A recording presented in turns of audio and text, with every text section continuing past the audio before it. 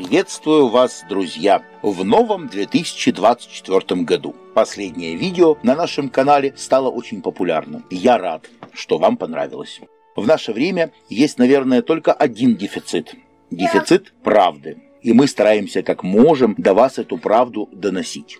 Благодарю всем, кто смотрит, подписывается на канал, оставляет комментарии. Я всегда просматриваю ваши комментарии, стараюсь по мере возможности отвечать. И к видео о прогнозе на следующий год, если ты еще не смотрел, ссылка в верхнем углу экрана, прозвучало немало интересных тезисов и вопросов. В общем и целом их можно разделить на три категории. Философские, язвительные и практические. Философы вдумчиво прослушали информацию, во многом согласились, поспорили о том, что есть смерть, это есть конец или начало, и есть ли она вообще. Многие вдохновились и задумались, как же все-таки свалить из города и начать жить в природе. Но большинство остались при своем мнении, что на природе, конечно, хорошо, спокойно и красиво, но где бы ты ни жил, нужно мыслить и поступать правильно, и все будет хорошо.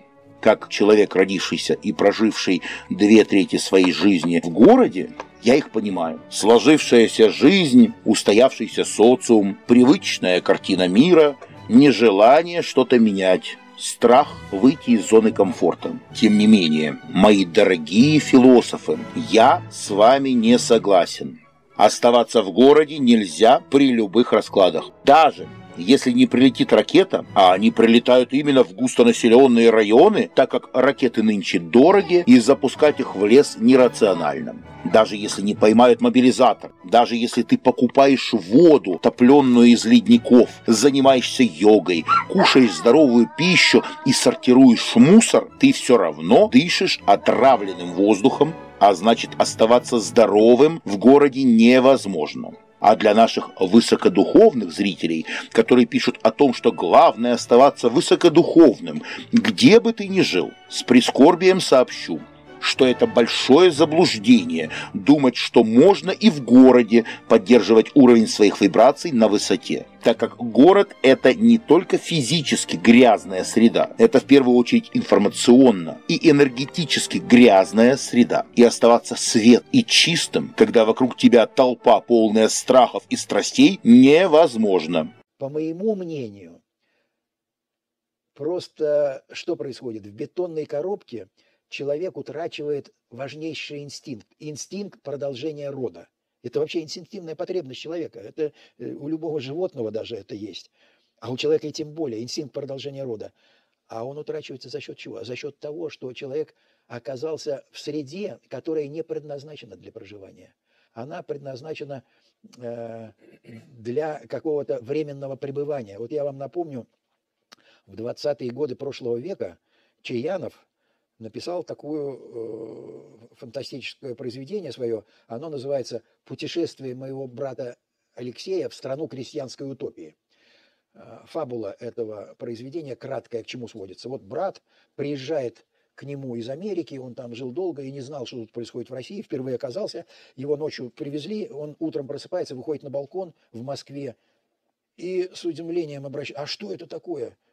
Он говорит, как, а ты-то разве не знаешь? Так у нас в 60-е годы э, к власти пришли, вернее, он писал о далеком 69-м годе. Говорит, в 30-е годы к власти пришли разумные люди, и они приняли законы, которые теперь запрещают строить города численностью более 300 тысяч человек. У нас все города снесли, которые были. И э, города, вот численностью даже э, до 300 тысяч человек, остались только как места для временного присутствия. То есть в города приезжают на учебу, в музеи, в театры, но там никто не живет. Там живут только те, кто обслуживает Главное, приезжающих. на работу переезжать. Да. А, нет, и, э, нет, там-то он говорит о ситуации, когда там проживают только те, кто обслуживает приезжающих временно в города. Вот. А у нас с вами э, процесс пошел прямо в противоположном направлении. Мы все сосредотачиваемся в городах, но вы представьте себе рыбку, которая вообще-то живет э, в соленой воде, а ее поместили в пресную воду. Ну, наверное, что-то будет не так. Вот так нас с вами. Человек создан для жизни в природных полях. Наш организм – это набор резонаторов разночастотных. И этот набор резонаторов работает как единый оркестр в том случае, когда он настраивается по единому камертону. А камертоном выступают природные поля. Именно поэтому нас тянет на природу. Не потому, что вот, а просто это органическая потребность оказаться в природных полях. Именно поэтому все великие всегда уходили из городов. Чем тоньше структура человека, тем тяжелее ему находиться в толпе. Вот, например, что нам готовят глобалисты. Из новенького. Известный американский невролог Джеймс Джордано рассказал о проекте, который делается по заказу DARPA. А DARPA это некое подразделение Массачусетского технологического университета. Проект неинвазивной нейромодуляции нового поколения. Он утверждает, что по проекту вдыхаемые людьми, ну вот, например, посредством сброса химтрейлов, наночастицы трансформируются в сенсоры и передатчики и используются для построения в мозгу сети, позволяющей читать мысли граждан, а также записывать туда информацию дистанционно. Киберсфера теперь проникает в церебросферу отдельных людей, говорит Джордана. Accessing the brain. Not crudely, but ever more creatively.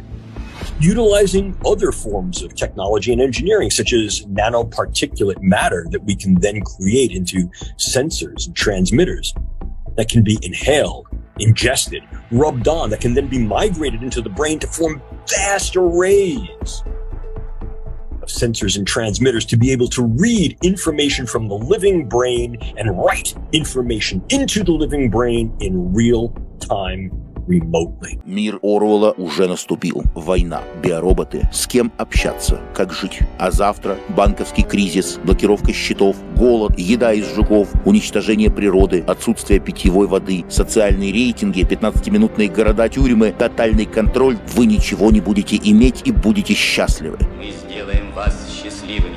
Что делать? Есть ли выход?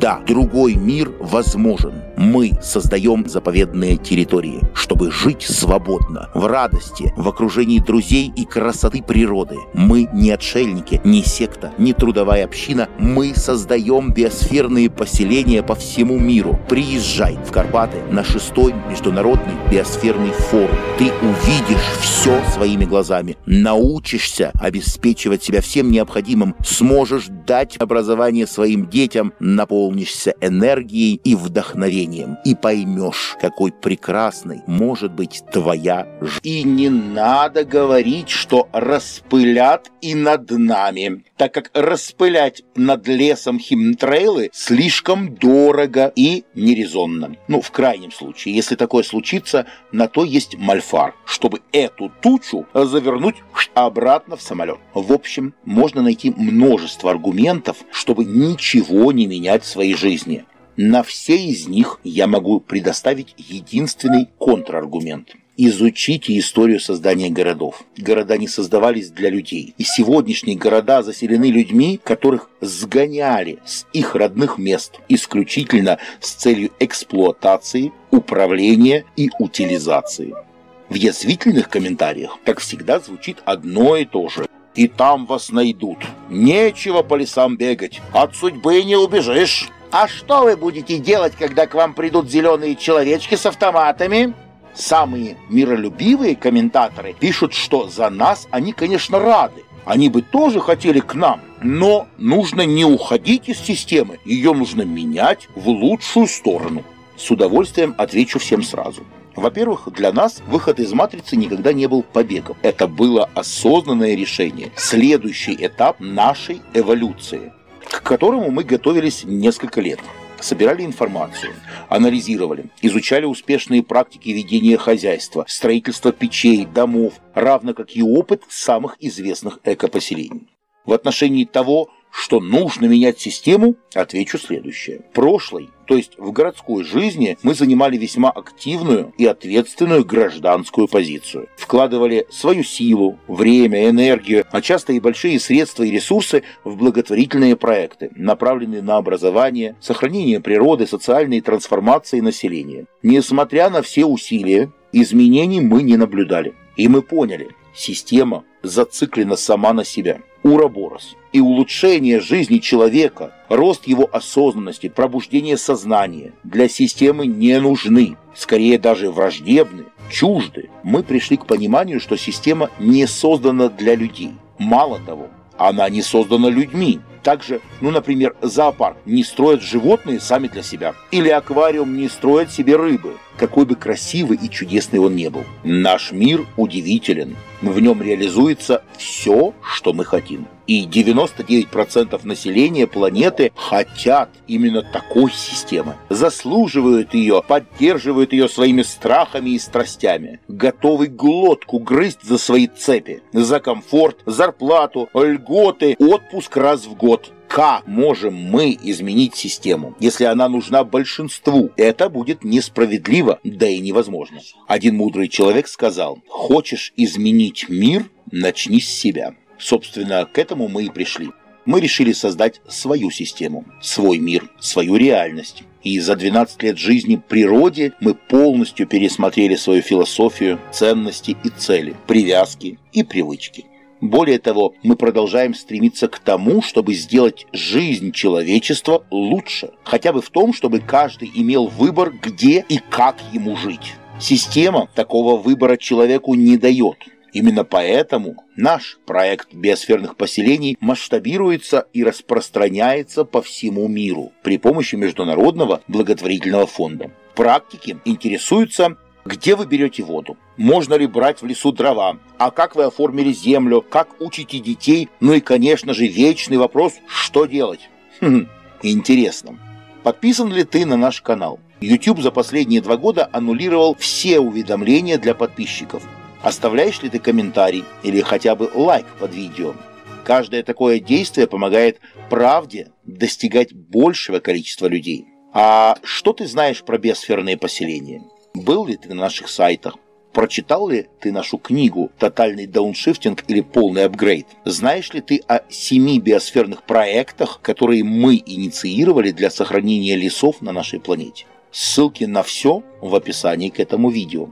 Множество людей приезжают на ежегодный биосферный форум, который вот уже шестой раз будет проходить с 21 по 27 июня в украинских Карпатах в Биополисе можно вживую пообщаться с единомышленниками, обрести друзей, увидеть все своими глазами, пощупать, попробовать на вкус, искупаться в водопаде, походить по углям. А для тех, кто приехать не может, мы создали удивительную возможность пообщаться с Мальфаром вживую без купюр, не тратить деньги и время на поездку. Школа Мальфара – это еженедельное личное общение в течение шести месяцев для тех, кто ищет ответы, но не рискует приезжать в Украину, пересекать границы, вылезать из-под дивана, либо из бункера. Ты не только встретишься с Мальфаром и сможешь задать интересующие лично тебя вопросы. В школе ты познакомишься с десятками интересных, ищущих, думающих людей из разных стран. Первый урок бесплатно. Регистрируйтесь прямо сейчас и до встречи на форуме и в школе Мальфара. Всем добра!